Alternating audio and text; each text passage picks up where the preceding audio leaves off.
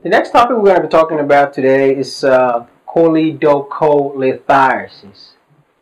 Now, we just talked about cholecystitis in the last lecture.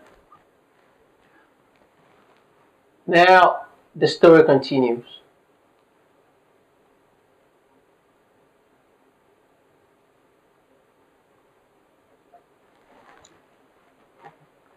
For choledocholithiasis,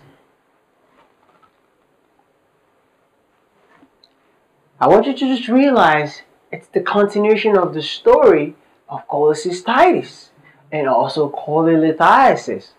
Cholelithiasis was a stone. This stone obstructed the cystic duct. We call it cholecystitis when it has when the gallbladder is inflamed. This stone no longer lives here. Somehow, somehow, the stone will manage to get through, and now it's obstructing the common bile duct.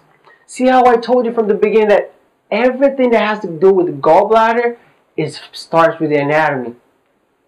So there's something special about choledocholithiasis. Let's start. On history, when the patient comes in, they're gonna come to the ER and they're gonna tell you, Doc, I've been having right upper quadrant pain, also radiating to my scapular. I'm having some epigastric pain. Right? Then you ask them, what else is wrong? They're like, my eyes are yellow. They got yellow eyes. Now you got a clue. I got I had a patient last time. He came into the ER exactly like that. Right upper quadrant pain, epigastric pain is got bilateral sclera icterus, which is basically yellow eyes. I'm looking at the lady. I said, "Hmm, look at that. You're spilling bilirubin." She said, "Why is my eyes yellow?" I knew the answer. I knew she's spilling bilirubin. Now let's go over the pathology. You look at the liver. The liver automatically processes bilirubin, right? Bilirubin has to travel and go inside here. However, when you have a stone obstructing the common bile duct, all the bilirubin start to back up and back up and back up. Oops! He goes into the central vein. When he gets to the central vein, he goes straight into the hepatic vein, which eventually dumps into the IVC. Now here's a catch.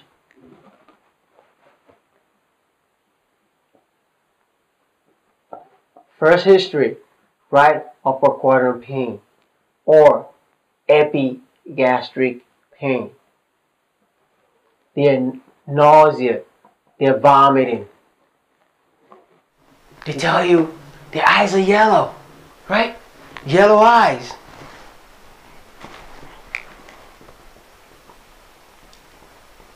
In medicine, we call that sclera icterus, which is a fancy name for yellow eyes, right? Then you wonder, nausea, vomiting, right upper quadrant pain, epigastric pain, and jaundice, right? The reason why they have that, the, the difference, right, between acute cholecystitis and acute choledocholithiasis, this is right upper quadrant pain with no jaundice at all. You know why? Because when you obstruct the cystic duct, you don't spill, you can't even get the bilirubin out, right? However, if you're obstructing the common bile duct, the bilirubin is able to go here, but it has nowhere to go. And all of a sudden it backs up. You ask them, How's your poop? You. Yeah, I know. It's clay colored. Clay colored stool. Why is this stool clay colored? It doesn't have any color. What do you think gives your poop that brown, whatever color it comes out to be? Is because of the what? Is the bilirubin and the bile acids. That's what gives the stool color. So if you're not able to spill it and go to the duodenum and form the poop all the way out, it backs all the way into the back into the uh, peripheral uh, system. You still ain't gonna have the nice fancy color. I know, not the really cutest thing, right? You, oh, jeez, so gross. Anyway, but guess what's going to eventually happen? Since all this bilirubin is backing up, backing up, backing up, it's going to your bloodstream. Now the blood, it's got to go through the kidneys. When it gets into the kidneys, we got a problem. It's going to spill out the bilirubin, and now it's going to give your urine dark colored urine. Isn't it funny? When you understand where things are going and how things are ending up, you realize it's not that hard. There's jaundice, dark urine, clear color stool. If the bilirubin is so much, bile salts cause you to itch. They cause a lot of itching. They I tell you, oh my God, doc, I've been itching a lot. Not cool. Itching, yellow right eye. upper quadrant pain, right? Jaundice, choledocholithiasis. So, now that you got the history, a physical exam, what are you going to do? You pop it on the belly. You push down. Tell to take a deep breath. It hurts when I do that. Hmm. They might have Murphy sign, but it's not always there. Always remember. But the difference is to know how to make the diagnosis. Now, to make the diagnosis, we need to order labs. So, what labs are we going to order?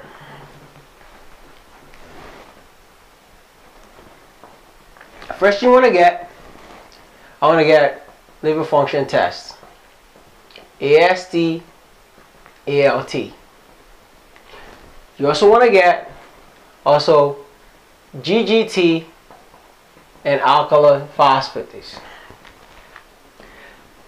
When you get a positive ALP, elevated alkaline phosphatase, if you haven't watched the video, check back on alkaline phosphatase and liver function test videos that we made. GGT, which is gamma glutamyl transferase, is extremely specific to the what? To the gallbladder, to the biliary. Okay? Alk phos, you can find placenta, you can find the bone. Okay? But a GGT elevated, still is coming from the gallbladder. AST might be elevated and ALT if you get some mild inflammation, but it's usually not. It's usually coming from ALT and GGT. you can order a CBC to check their white count, right? To see what their white count is. If it's high, it's telling us something wrong. If they have a fever, oh, it's taking us a different pathway, which we're going to talk about in the next lecture. But let's focus on this. Because one of the complications might lead us to tell us something different from the CBC that we don't really expect. Now, after we order that, and we know definitely this is a gallbladder pathology. How do we make the diagnosis? The diagnosis and the treatment are pretty much the same.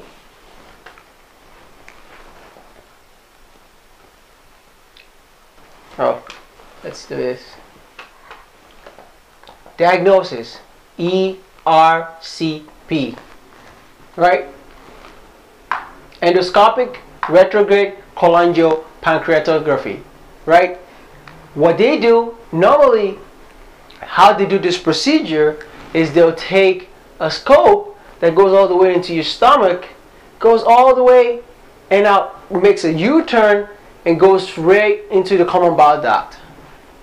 They observe it, they'll be able to see the stone. And guess what? Since they see the stone, they can block it out and pull it out. So that's called ERCP plus sphincterectomy. That's the treatment, right? You take a scope, put it on your throat, it goes all the way down, goes into the duodenum, all the way, makes a U-turn, goes through the sphincter of Oddi. See the stone? You pluck it out, and that's it. Voila, I'm done.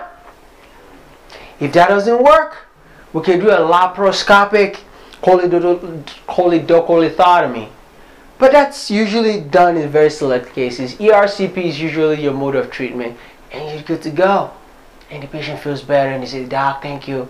Can I go home now? You say, yeah, good. Now, because there are complications to choledocholithiasis, we need to talk about those complications. And one of the complications is what? Ascending cholangitis.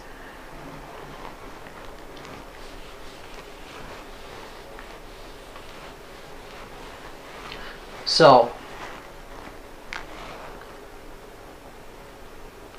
ascending cholangitis. Let's talk about that for a second. This is one of the complications for cholecystectomy. I'm going to tell you a little story. Let's go back to our picture here. Inside your duodenum is a lot of poop, right? Not really the nicest thing. They look nice when you're eating them though. Until they get digested. And inside there's a lot of bacteria. So the definition of ascending cholangitis is what? Something is going up, right? Through the steps, right? Affecting the colon, again, biliary tree, right? Chole, biliary, gallbladder, itis again, inflammation. In this case, what's causing the inflammation is an infection. So, an infectious process creeping up into this green line, which is the common bile duct, is called ascending cholangitis. What do you think is causing it? Bacterial overgrowth. Now, let's talk about the guys that actually playing a role in this. And I love this story. So, one day, E. coli, Klebsiella, Ella, Ella, E, E, E, Proteus, Pseudomonas, Enterococci, uh, Enterococci, they were just hanging out. Couple buddies, right? They were just hanging out. Right? So I call them the sick PP mnemonic Serratia, Enterococcus, E. coli, Klebsiella, Proteus, and Pseudomonas. These are what? Gram-negative bacteria. They were just hanging out in your colon, right? And all of a sudden they're creeping up and creeping up. And there's a little hole. They're like, man, yo, E. coli, you want to go check that place out? They're like, yeah, I'll go check what's up in there, man. E. coli climbs through the little hole goes up. Is this something that's like, fellas, I can't really see, but y'all want to come up here and see stuff? His buddies come with him. They ascended. They climbed the stairs. They all climbed the stairs. Now they end up into what? They get into the biliary tree through this beautiful hole. And now they're having sex. Mating, bacterial overgrowth. Now you've got an infection. So now we know the cause. Let's talk about the history. What is the patient going to present with? We actually have to um, erase this and talk about something very important. Cause the Charcot's triad. Fever right upper quadrant pain, jaundice. Now, this doesn't really require a lot of memorization because I told you we talked about choledocholithiasis. And one of the complications of choledocholithiasis, if the stone gets stuck there long enough, Bacteria can come up there, they're having sex, they're growing. So now, I'm not surprised with the right upper quadrant pain because that's where the, call the stone coming from, right? I'm not surprised with the jaundice because we talked about what's causing the jaundice. The only thing I'm now freaking out over, freaking out, is the fever. Because fever, right upper quadrant pain and jaundice, is called the classic triad, usually 50 to 70% of your patients. This is an emergency. I do not want my patient to be jaundice, right upper quadrant pain, and a fever. And that's bad. So, what do we want to do? We want to order labs. When we order labs, another thing before actually we order labs, Charcot's triad is this three. we can expand it to Reynolds' triad. And I can tell you, if you think Charcot is bad, Reynolds is even worse.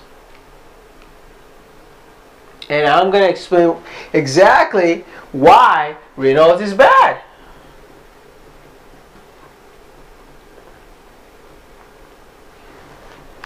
So now the bacteria having sex and doing their little thing, right? You think that's cool? No, it's not. Because when this bacteria gets into the bloodstream, now you've got a problem. You get into SIRS, systemic inflammatory response syndrome, right? You become tachycardic, heart rate greater than 90, right? You get a fever. Now all of a sudden your white count goes up about more than 12,000. It's not the end of the world. You think that's bad enough? You become tachypneic. You start to hyperventilate. That is really bad. You get warm skin. You go into sepsis. Eventually bacteria, because we're going to actually talk about sepsis and septic shock. You go into septic shock, right? Systemic vasodilatation. All of a sudden you get altered mental status. Now that's called a triad, pentad, which is the extreme of a Charcot triad. Because remember, the fever is because the bacteria are coming in and the neutrophils are trying to infiltrate. And now once the, the bacteria's uh, context is broken apart, that's what starts to cause the SIRS that I talk about systemic inflammatory response syndrome. And eventually people develop altered mental status and they go, oh, right? You don't want that to happen. So, what do you want to do? When we order labs, you're going to see the elevated bilirubin, right? Conjugated bilirubin is going to be high. Just as in cholelithiasis. LFTs, you check what? You check ALP, alkaline phosphatase, it's going to be elevated. GGT is going to be elevated. Do you think they're going to have a white count? Yeah, that's what I was trying to tell you before. The white count, the white count. Why do we order CBC? Because now we see got a shift which means neutrophils are coming in